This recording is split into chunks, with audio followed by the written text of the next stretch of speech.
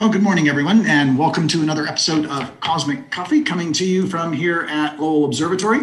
I'm Jeff Hall, an astronomer and the director of the observatory. I'm joined this morning once again by our astronomer, Brian Skiff, uh, who's been on a couple of recent Cosmic Coffees as we've been talking about aspects of the stars. Um, we've also been joined uh, in previous episodes by some of our educators talking about the different types of stars that we're seeing in the sky, particularly at this time of the year, such as the, the winter hexagon and so forth, and noting that stars have different brightnesses, different colors. Uh, Brian and I have talked a little bit about how we determine distance in astronomy, and and and and today we're going to um, move into how this this enormous stellar zoo up there in the sky every night is classified and how astronomers have figured out what the patterns are amongst the stars and how we can use those those classifications to understand many of the important physical properties about the stars. So what I'm going to do is we, we've got a couple of screen shares for you. We have a, a few PowerPoint slides to discuss sort of the origin of uh, spectroscopy and stellar classification, and then some practical examples online of how this is done and how it all works in astronomy. So uh, thanks for joining us again, Brian. Good morning, everyone. And I am going to share the screen and we'll go back to uh, the birth of a very important uh, field of, of astronomy. So Brian, we have a, a famous researcher from the 19th century here. Yeah, starting in the, this is, uh, uh, uh, I've forgotten his first name, Fraunhofer, who uh, about, um, about eight, between 1810 and 1820, he uh, uh, made the first real explorations of what the spectra of stars look like. And the easiest thing to work from was the sun and running the light from the sun through a prism and then projecting it onto a white piece of paper or a board perhaps. And he noticed that um, along with all the colors that he could see at least in a darkened room that there are all these dark lines. And he had at the time of course there was no atomic theory. We only had a few elements that we knew the identifications of. And so he was just exploring stuff and had no idea what was going on.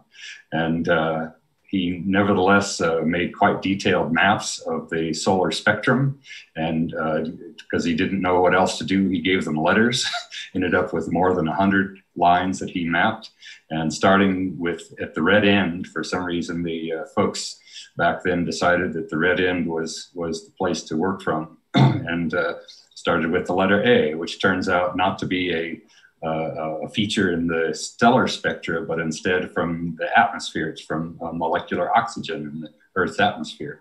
But almost all the other lines from the right hand side of this plot over to the left are from the sun, from different elements, chemical elements, or uh, uh small molecules in the, in the stars, which we now know are common to many of the stars, and obviously stars that are similar to the sun. Um, and so, by the, the way, it was Joseph. By the way, Joseph. Yes, Joe to his friends. I'm sure. Right. Joe from Yep. so, thank you for that. Um, so the big, the big broad lines are the thicker ones here, and the that have the capital letters were the easy ones to see, and most of those are from uh, hydrogen, which is we now know is the main constituent of uh, of the atmospheres of stars. The, so the B, the B line, and uh, um, and F and then uh, H are all from hydrogen. The D line, uh, that's actually a pair, were, are from sodium. And then there's uh, uh, lines from helium and magnesium in the middle here. And then the F is uh, another hydrogen line. And then G is again from a small molecule from, it's, it's, a CH molecule. I don't know if what the chemical name of that molecule is, but CH. And then the K line and the H line, at least in the sun, are from, from ionized calcium. So moving on, you know, people, it, this, this is how things were for about 40 years until the mid 1850s when uh, Kirchhoff and uh, Bunsen in Germany, of Bunsen Burner, this is Robert Bunsen of Bunsen Burner fame and Gustav Kirchhoff, um, who were laboratory chemists basically, um, they showed that the uh, all these lines were from different elements and had been identified up till that time, and that electrified people. yeah. people recognized that, you know, oh, we can actually see that there are real chemical composition uh, differences amongst the stars. Um, so we can we can actually tell what the stars are made of. And we were talking before the show. It's interesting in the, the literature today, for instance, we never refer to you know the Fraunhofer C line. We'll just say that's that's hydrogen alpha, one of the most prominent lines in the spectrum. I'd also right. like to note that sodium D line, which we typically often do call the, the D doublet. Um, you know that look at where that emission is right at a portion of the spectrum that looks fairly amber, and this is of course the the emission of the, the best uh, dark skylight, the so-called low pressure sodium, which is now obsolete, but but that's where it emits, and that's why this this very good dark sky lighting has that distinct amber color. And of course, we've been we'll look later in the show. We've been studying calcium H and K for decades here at Lowell. Yeah.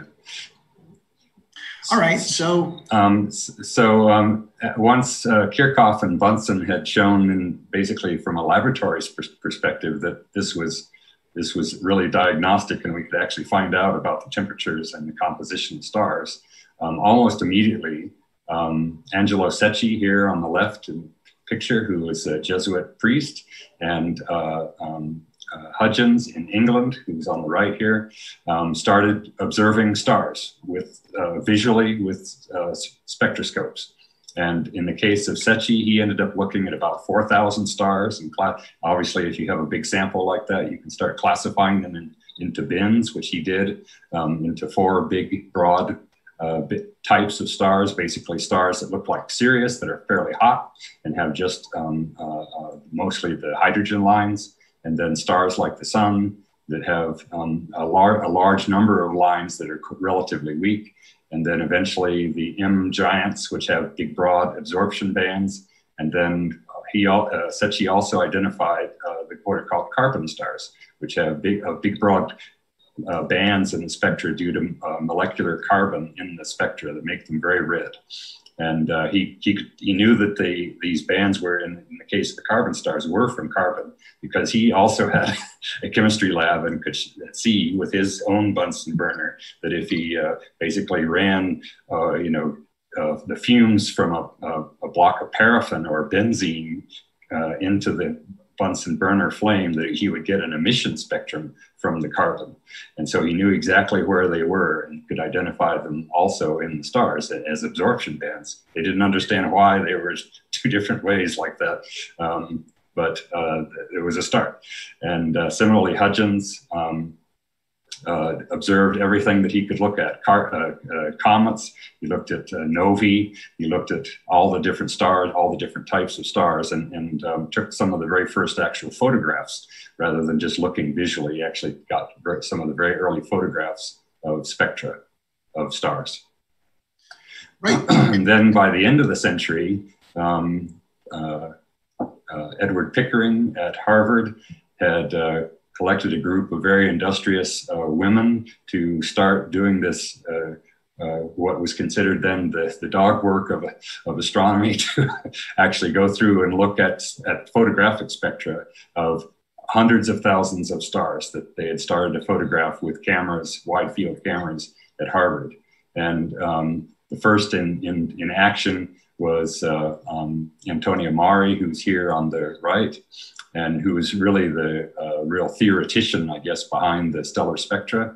And um, then on the left is Annie Cannon, who um, uh, codified the system and made it much more, uh, well, it, it ended up that they, the way they made it more systematic, but the um, classification of the spectra they did um, fairly logically uh, by the strengths of the hydrogen lines. So that you can see here in this uh, a nice pretty panel here that the A stars um, had the strongest hydrogen lines. The B stars had the next strongest lines, and then down through the alphabet. They actually used most of the letters, but uh, they found that if they all, if they could get good spectra of each of the types, that they could consolidate a bunch of these letters, so that they ended up in this kind of mystical sequence of O, B, A, F, G, K, M, and mm-hmm. some other uh, modifications.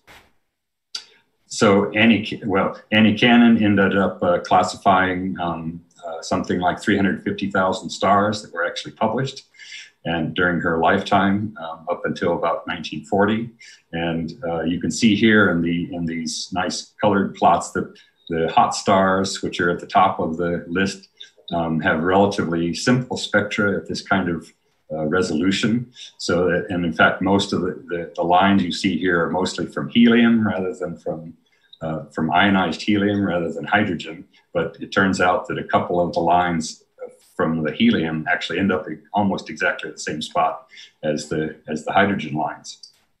And then down toward the bottom, as the stars are cooler, which we learned also about the same time, something like 120 years ago, that more and more of these uh, absorption lines that come from metals um, show up in the spectra, such that by the time you get to the sun here, the G between G0 and G5, um, the uh, lot, there are literally millions, tens of millions of lines from uh, all across the uh, you know the periodic table. So particularly across the middle of the of the periodic table that you remember from high school with magnesium, hydrogen, titanium, cobalt, nickel, all those elements um, produce uh, millions of lines. It turns out. And even even 10 or 20 years ago, there were mi- millions of these lines were not even identified, even in the solar spectrum, because the laboratory work had not been done to actually do all the all the all the calculations.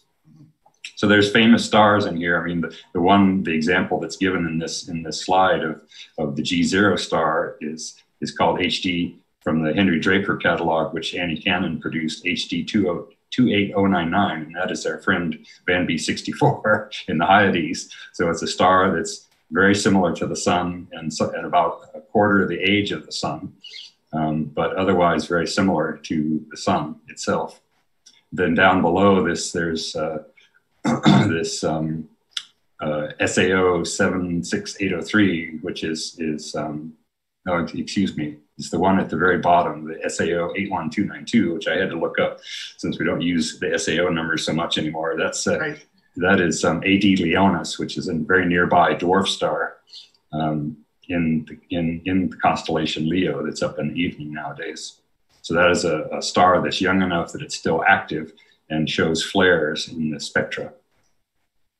So this elaboration of the spectrum of spectra of the stars uh, got you know more and more elaborate um, as we were able to get better and better detectors, the photographic detectors, um, plates, photographic plates, and uh, um, you know as that, and so people were able to see these spectra at higher resolution, which continued to show more and more detail.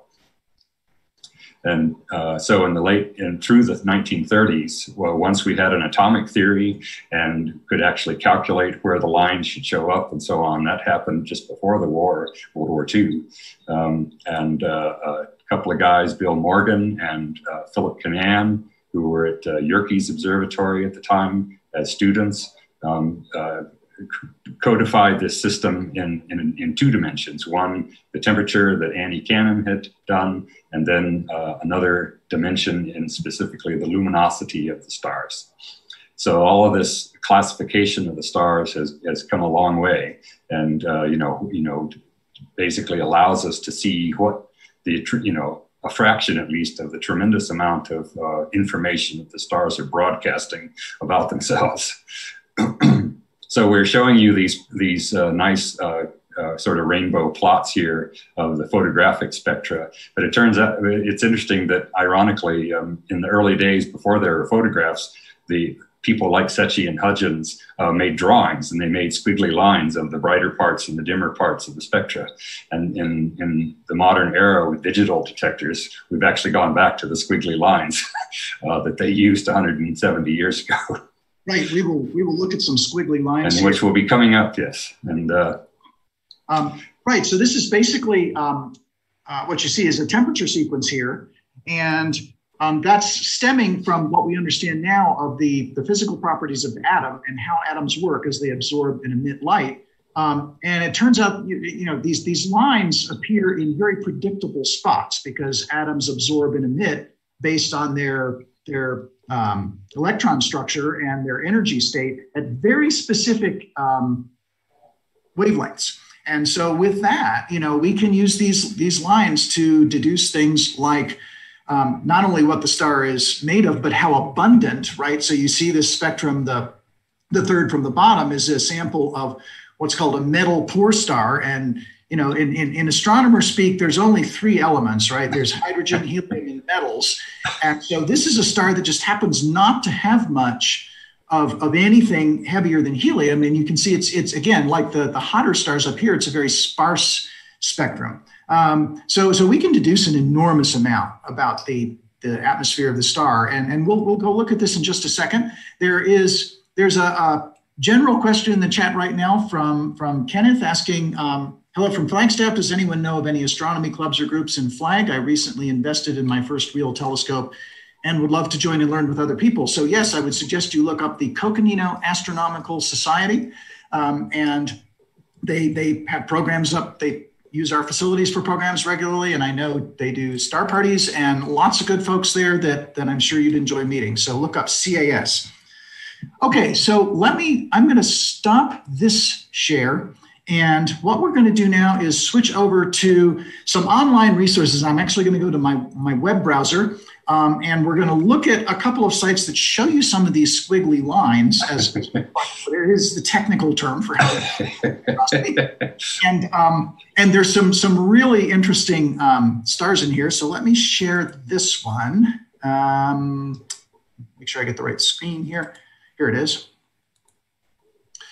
Okay, um, so this this site uh, is this is Richard Gray's site. Um, he he was here ten more than 10 years ago. yeah, he's visited here. There's a lot of work in stellar classification. It has this neat site. And here we can see some of these squiggly lines. And for instance, right in the middle, Brian, there, there's um, Vega. Vega. And, and you can see here, we're moving now from Annie, Annie Cannon system into the full MK designations here. So, so the uh, the the Morgan and Keenan system uh, adopted these the Annie Cannon letters, and uh, so the B5, A0, A5, so on, and then added a Roman numeral um, to indicate the luminosity. And the, ter- and the way they rigged it was to have a Roman numeral 5, the V here, for main sequence stars like the sun or stars that haven't evolved. Um, astronomers would say that they are heat, uh, hydrogen core burning stars.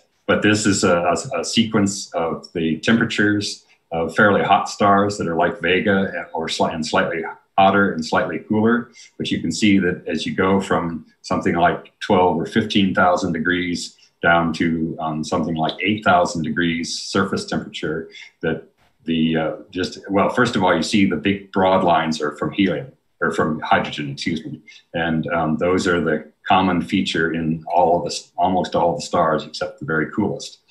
And then in the B stars, we see these uh, uh, helium lines that are quite weak, but are nevertheless very diagnostic. And then as we get cooler and cooler down below where Vega is, all these metal lines start to show up from manganese, calcium, iron, magnesium over at near 44, uh, near 4,500 angstroms. And so those lines get stronger and stronger as the stars, those from the metals, get stronger and stronger as you go to the cooler stars. So starting from the relatively simple um, uh, mid B stars down to the mid A stars. Um, it's a fairly straightforward progression. The way, you know, that when you look at a spectrum, I mean, the first thing you want to know about any star or any object in the sky is what's the spectral type? Well, and you know, for stars like this, the first thing you look at is the strength of this calcium line right here relative to the to the to the on the on the left relative to the uh, uh, hydrogen lines. You can see that it's just barely visible in the late B stars and then gets stronger and stronger such that down at the bottom for the A5 stars, it's that line is almost the depth of the of the of the Balmer lines, the hydrogen lines. Right. And it, you can just tell just at a glance, you know, oh, the temperature is this for the star almost right away. And if you remember the the plot from uh, Fraunhofer, you might be asking, well, what happened to uh, calcium H. It's actually yeah, right in there, right for H, H epsilon, the Balmer epsilon line. So they got so the Balmer lines, these hydrogen lines got uh, uh, re- renamed yet again with Greek letters, um, so that they and once people for, uh, couldn't remember the order of the Greek letters after epsilon, and so they start giving them numbers instead, just to keep things totally confused. oh, just like um, and so these, of course, are, are stars considerably hotter than what um, you and I have typically been studying, Brian. These are these are yeah. more like the sorts of stars that Phil Massey and, and his colleagues have been studying. Yeah, these are roughly twice the temperature of the sun. Right. And of course, what's going on here up in these extremely hot stars, uh, they're so hot that that most these, these atoms down here are, are ionized and, and the electrons don't exist in a physical state where they can make a transition and create these lines. But as the star gets cooler, the physical conditions are right within the atoms for all these lines to begin to form. Um, and, and one point we might make, and then we'll move on to show you just how complicated the spectra get in the weaker, the, the cooler stellar classes. Um, Vega is a, a, very important star in that it's long been used as sort of a fundamental spectrophotometric standard, i.e., astronomers have reference stars that, that we use when we're trying to do um, absolute energy measurements, and, and Vega has figured prominently in that. So it has a it has a simple spectrum, even in, in that simple spectrum, uh, with those only, only, the very weak lines, uh, persists out into the infrared. And so when we are observing now in the near infrared, with for instance with the LDT and the night spectrograph, or with IGRINS in the past, these different spectrographs, we want to take out uh, effects from the Earth's atmosphere and a way to do that is to observe an A0 star like Vega um, to get a spectrum that has very few lines except for the lines and absorption bands that are coming just from the Earth's atmosphere. Right, right. So we keep observing those stars just to, for calibration of and, the uh, of the data. Exactly, and and uh, just just to be clear, this is only a fairly limited part of the spectrum. Basically, the near ultraviolet and only into the blue. So this is a yeah. uh, 4,600 angstroms, 460 nanometers. And you can see over here hydrogen gamma. So the, the main Balmer lines of hydrogen um, beta is out at about 4,800. And then the, the Fraunhofer C or hydrogen alpha would be way off the end of the screen, yep. 65, 60. Um, so all, all it, it, you know, it's an interesting thing that where the photographic plates were most sensitive in the old days was right in this part of the spectrum and in the blue and the violet. And, and it turns out that this is where all the action is in the stars in terms of the spectral features. There's not so much, or it's harder to do out farther to the red. Now right, it is harder because once you get to past 5,000 nanometers, you start picking up a forest. Yeah. Uh, water vapor lines and oxygen lines from Earth's pesky atmosphere, and it, it makes it very much harder to disentangle. So let's go to some cooler stars. So again, this is the the B and A portion of the, the Cannon and, and MK classification scheme. Now we can go over and look at some G and K stars. And these are more like the kinds of stars that we've been looking at for decades. And look at the difference here when we're down to temperatures uh, fairly similar to the sun or a bit cooler. Right. So you can you can still see the uh, these hydrogen lines like the H gamma sort of two thirds of the way to the to the right, and it's still there, but it's completely swamped by these other metal lines. And the, the main uh, features that uh, we use to do the classification, uh, the temperature classification, are, are indicated up at the top. Um, so that the calcium and the iron lines and the magnesium lines are there, are marked there. Um, but the Balmer lines uh, don't figure into this quite so strongly. And uh, uh, the, an obvious thing that's amongst the uh, cool stars are the, is the calcium 2 H and K lines, still adopting the, the old Fraunhofer um, notation uh, on the left-hand side. And you can see that they are really the most prominent feature in the spectrum spectra. And in fact, for the sun, between 3,900 and 4,000 angstroms, there's not very much light coming out of the sun in that violet range um, because of those big broad lines uh, uh, from the from the spectra. And in the very bottom one for uh, 61 Cygni A, you can see that that line is uh, those two lines are they're a little bit clobbered by additional metal uh, lines, but also right in the middle, right at 39 35 or so, and Here. 3970, uh, right as Jeff is marking there. There's these little bits where it goes up, and you'd think that would be noise in the spectra, um, but in fact, it's uh, from a little bit of emission that's right above the uh, top layer of the star, where the calcium has actually gotten hot enough that it's actually emitting. Um, and for a long time, uh, we observed stars with a spectrograph and even just with ordinary measuring the brightness of the stars, looking at changes in that, the core of those lines to look for variations like the 11 year sunspot cycle on the sun. Exactly. And we talked about that a little bit in, in I think the last time you were on Cosmic Coffee. And in fact, 60, um, in fact, um, all of these stars. Yeah, these are all on our program. They're all friends of ours. Yeah. So, you, can see the emission. You'll notice in like Beta Comb here is actually not a very active star. You don't see any emission there, but you can clearly see it here. And if you can see this, that's a very active star because at this kind of plot and resolution, even at the, the solar maximum, you would not see a, an amount of emission anywhere near that. Um, so this is quite an active star. It's also very cool uh, spectral type K5, which is really getting down there. And uh, you can see a, a complicated spectrum. You made one Brian, that I just wanted to mention quickly when you were talking about how the sun doesn't have much light coming out here in in this part of the spectrum. There, there are two main components of the spectrum when we've really been talking about the line spectrum there's also what we call the continuous spectrum of the star which is the shape of a, a, a, very characteristic shape we call a black body and one thing you'll notice in these, these much hotter stars you can clearly see the continuum. And actually, what, what's been done here is we've divided the continuum out. So the continuum is normalized to one. Um, in these cooler stars, there are so many lines. You, know, you can sort of see the continuum here. It's kind of that level. But once you get down to these K stars, there are regions where there are so many lines, the continuum is completely blanketed. And, and that actually makes it uh, very complicated to to interpret. You know where to put the lines and measure the emission. Right. So I mean, there there's you know no no little window or very few on only very narrow little windows where there's uh, just the general heat energy of the stars coming out without being impeded by some uh, some atom- atoms or molecules that are blocking the light. Pesky atoms. Yeah. Question has come in from a uh, good question from Jim Davies. Good morning, Jim. Um, does anyone take spectra from orbit? And if so, how different are they?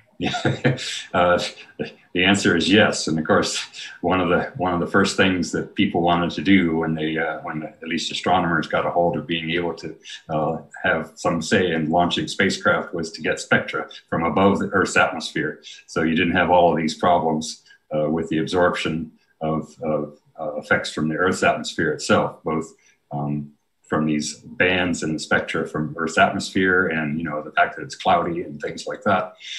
and so, uh, what what do observing from orbit allowed us to do, or from outside the Earth's atmosphere has allowed us to do, is to see into the ultraviolet, um, particularly, and to see uh, hot uh, envelopes around stars and also uh, to see better in the uh, infrared, where again there are uh, huge swaths of the spectrum that are absorbed by by the by the, mainly the water vapor in the Earth's atmosphere.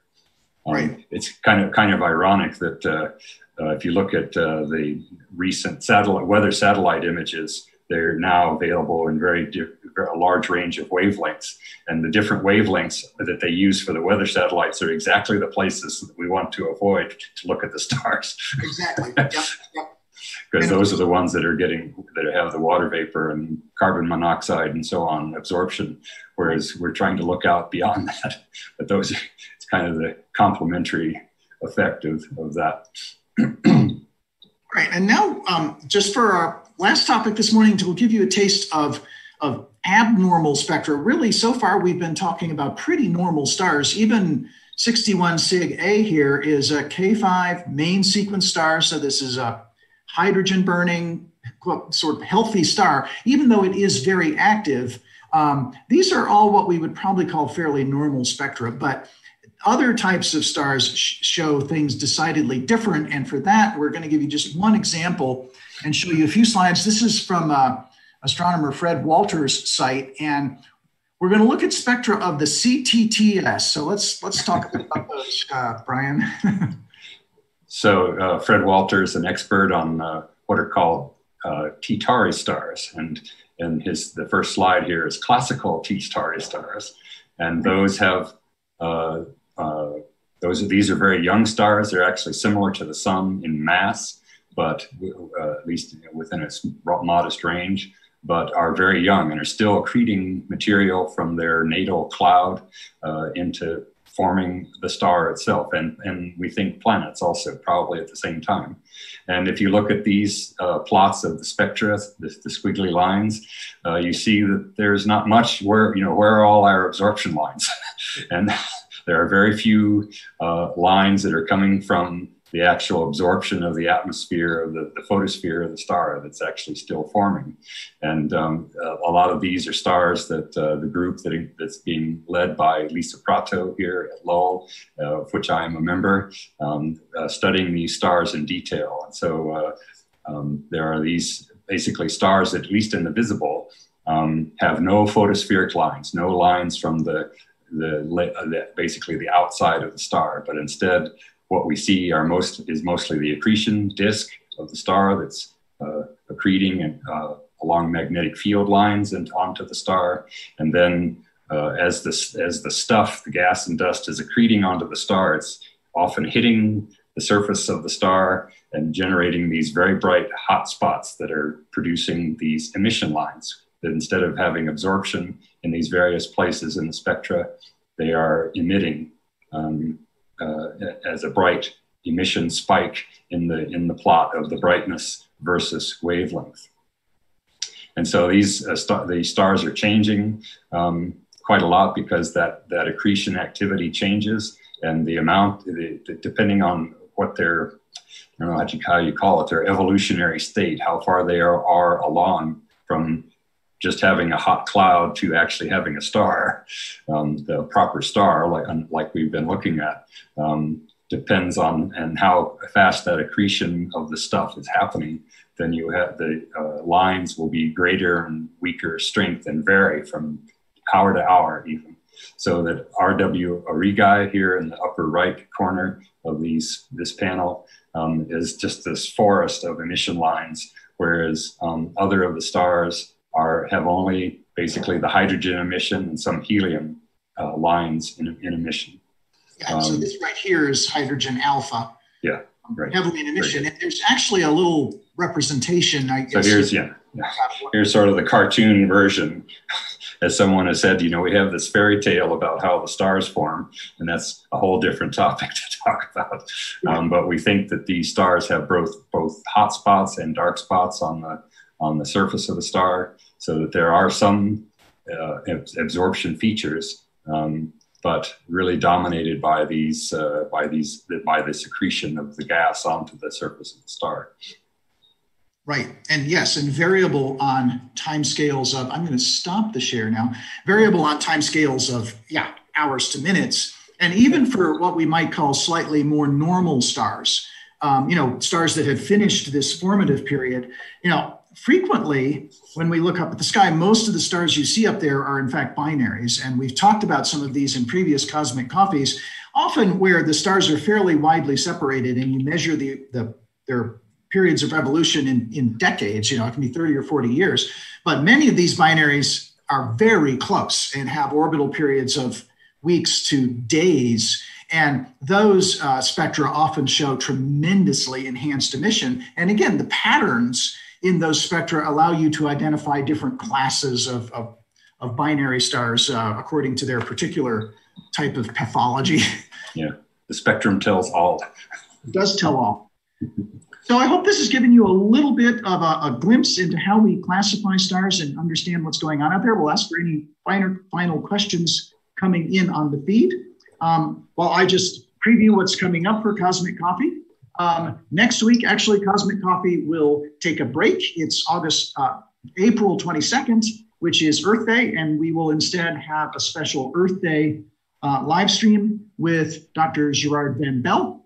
And then in two weeks, April 29th, Cosmic Coffee will be back. Um, every three months or so for the past year, we've taken a little detour out from astronomy to draw on the expertise of our local uh, pathogen experts. And so I'll be joined uh, once again by Dr. Dave Engelthaler. Um, now that we are we are into phase two of our reopening uh, here at Lowell, we're starting to see a few more tours going by, and, and I've got all the same questions everybody else does as to you know what's the status of travel and and transmission and mask use now that I'm happily fully vaccinated. Um, what's the state of these variants and, and where, where are we really going with these case surges that we're seeing? Um, Dave is a, a, highly authoritative voice on all of this, and we'll try to get all of the information out and, and answer all of your questions. So that'll be two weeks from today on here on Cosmic Coffee. So until then, as always, um, stay well, stay safe, and we'll see you next time.